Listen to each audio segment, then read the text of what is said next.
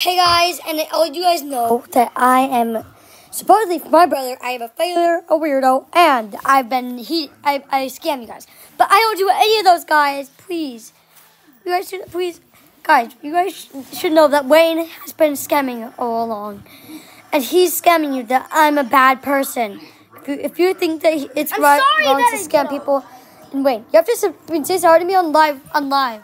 Oh, I'm so sorry, Mar- sorry, sorry, so sorry.